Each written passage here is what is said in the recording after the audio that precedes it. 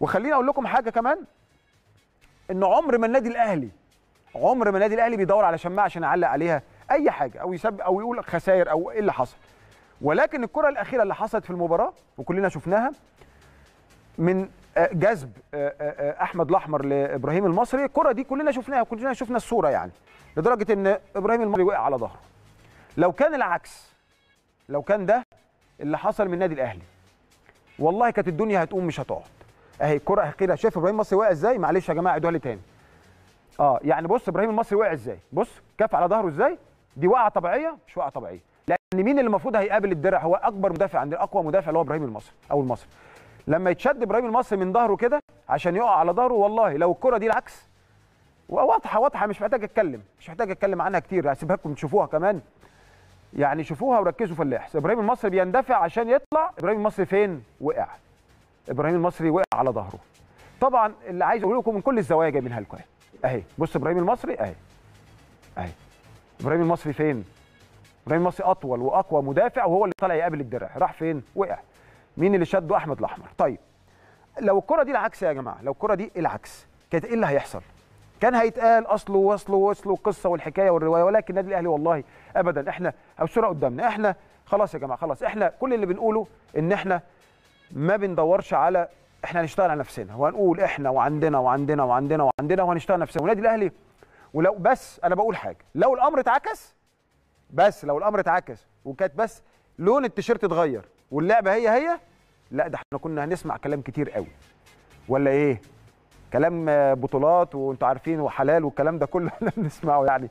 ولكن اللي أقصد أقوله إن النادي الأهلي كبير وأنتوا لعيبة كبار. وأنتم أنا كهيثم السعيد والله بقول لكم هذا الكلام من قلبي. أنا فعلا مقدر وبربط على إيديكم بقول لكم ما يهمكوش. ومفيش إحباط والله يا أولاد والله وخليكم فاكرين كلمتي.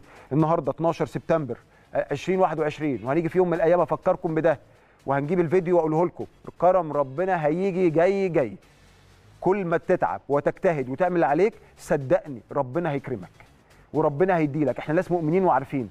كل ما تتعب وكل ما تجتهد وكل ما تشتغل على أخطائك كله جهاز فني ولاعبين وتشوف وتطور من أدائك وتقعد تدرس أخطائك وتشوفها وتشتغل والله كرم ربنا لو جه مش هتقدر مش هتقدر تقول حاجة. هتقول يا ربي هو أنا ربنا بيكرمني كده هو أنا عملت إيه عشان ربنا يكرمني كده؟ ده هيحصل معاكم وهتمثلوا مصر. أنتوا صغيرين في السن وعندكم مهارات عالية وعندكم آه، موهب- موهبة كبيرة جدا مش برأيي أنا. عندنا إصابة وعندنا إصابة تانية حصلت وإحنا في الملعب. محسن رمضان وسيسة اتصاب في الملعب. يعني عندنا وكاستيلو ما كانش دخل. يعني قصدي أقول لكم إن إحنا عندنا إصابات ومع ذلك ومع ذلك كان شكلهم كبير. ما بالكم بقى لو إحنا كاملين لو إحنا خدنا خبرات زيادة. لا أنتوا بإذن الله خمس ست سنين قدام هتتسيدوا كرة اليد في مصر. وخليكم فاكرين كلمتي دي. ويكفي إن أنتوا فيكم لعيبة وصلوا وخدوا بطولة عالم وثالث عالم. يعني عندكم لعيبة شافت طعم المكسب وعارف يعني إيه المكسب. كلنا ثقة فيكم ده كان كلامي للجهاز الفني واللاعبين للجمهور. ندعم هذا الفريق ونقف جنبه.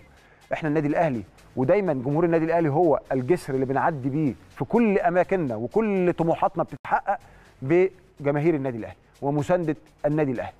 إحنا عندنا دوري جاي عندنا احتمال كبير قوي نروح بطولة أبطال الدوري إن شاء الله ما نعرفش رأي الاتحاد الأفريقي إيه.